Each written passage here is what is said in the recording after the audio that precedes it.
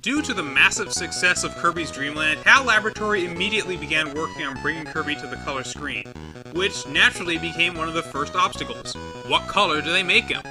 There was a lot of dissension among different localization teams. You see, when the American team designed the box art for Kirby's Dream Land, they did so having only seen him on the black and white Game Boy screen, and since, well, Kirby isn't black, they made him white.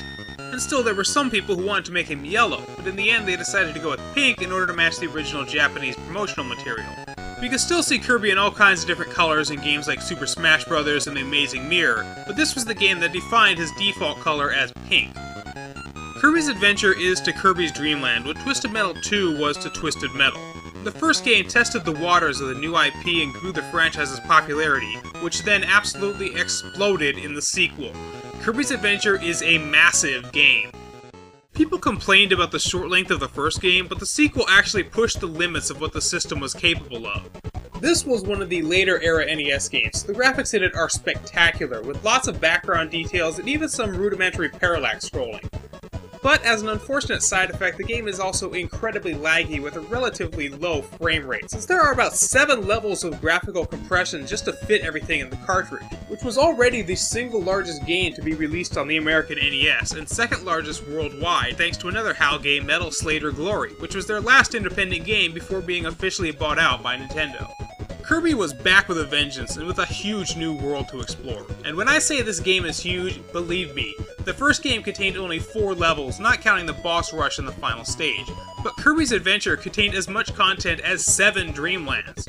Every level contains multiple stages, each one about as long as level from the first game, so you can do the math right there. In fact, the final level in this game is essentially a compressed version of the entirety of Kirby's Dreamland, just reminding you how far we've come in a single game.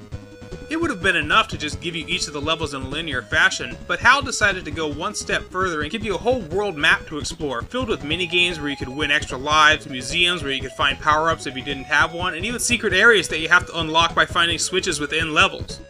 I always loved the Quick Draw minigame, which I think is the closest we ever get to actually seeing Kirby use a gun.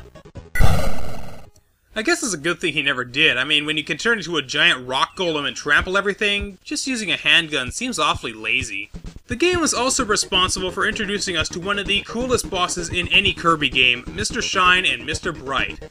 I don't know what it is, but I love these guys. The tag team combat, the way they each have their own unique methods of attack, whether on the ground or in the sky, they just have so much variety.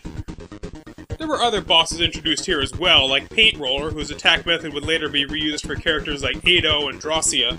And of course, Meta Knight, who would go on to become possibly an even more famous antagonist than King Dedede himself. Speaking of whom, the story of Kirby's Adventure is a bit more creative than Dreamland. The Star Rod, power source of the Fountain of Dreams, has been stolen by King Dedede, who broke it into seven pieces and gave one to each of his friends.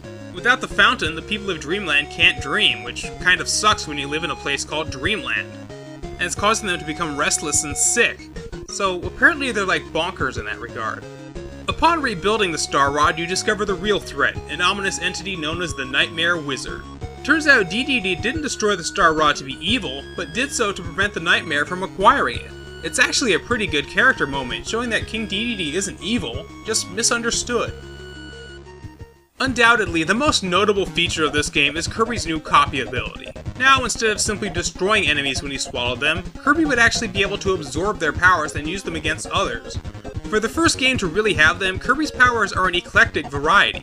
All the power-ups you'd expect to see are here, like Sword, Parasol, Beam, and Cutter.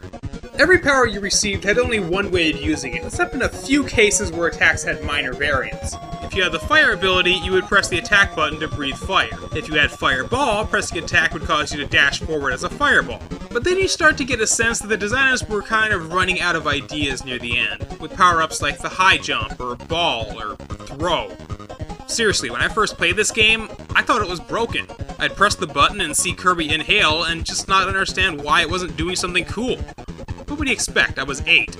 There were some other new features for this game as well, which became common for the series, like Kirby's slide attack, similar to Mega Man, and the water gun, which finally gave Kirby a method of defending himself underwater, even when he didn't have a power-up.